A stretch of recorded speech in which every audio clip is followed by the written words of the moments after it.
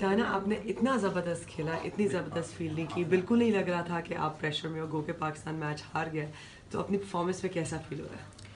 बस हम लोग तो बस कोशिश कर रहे थे कि अपना पूरा दें और बॉलिंग में हम सबने बहुत अच्छा किया फील्डिंग में भी हम लोगों ने अच्छा किया। बैटिंग हमारी नहीं चली पार्ट ऑफ़ गेम ठीक है। हम लोग नेक्स्ट मैचेस में अच्छा करेंगे। पॉजिटिव हैं कि नेक्स्ट मैचेस में अच्छा करेंगे और हम सब मिल के फाइट करेंगे। स्मृति की विकेट ली जिसने पहले 106 रन्स बनाए उससे पहले इंग्लैंड के खिलाफ बड़ा अच्छा खेला।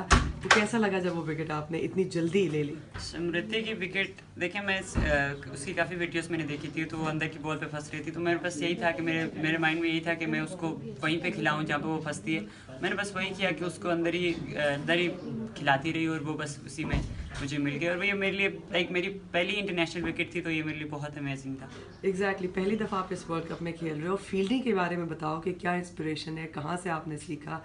किस तरह से अमेजिंग जो आपने फील्डिंग की और जो कैच पकड़ते पकड़ते रह गया जिस पे आप सॉरी भी बोल रहे थे। सो so, ये इंस्पिरेशन आपको कहाँ से मिली?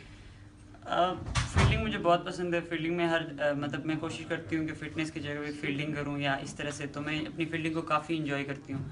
और इंस्पिरेशन तो आपको पता है बहुत सारे हैं लेकिन मैं जॉन्टी रोड्स को मैं बहुत ज़्यादा उसको उसकी वीडियोस देखी हैं। उसके अलावा बस यही है कि फ़ील्ड में बस कोशिश होती है कि यार कुछ करें कुछ करें तो अपने कंट्री के लिए कुछ करें। तो बॉल भी खेलते हो खेलते रहे हो क्रिकेट भी खेलते हो तो किसको ज़्यादा प्रेफरेंस देते हो? आप अभी तो मैंने क्रिकेट को ज़्यादा प्रेफर किया हुआ है क्योंकि फ़ुटबॉल को मैंने थोड़ा सा साइड किया हुआ है। क्योंकि यही होता है कि इंजरीज काफ़ी ज़्यादा होती हैं फुटबॉल में तो उसकी वजह से तो अब यही है कि एक जगह कंसंट्रेट किया है तो इस तरह से आए मैं अगला मैच ऑस्ट्रेलिया के साथ है। क्या तैयारियाँ क्या स्पिरिट है?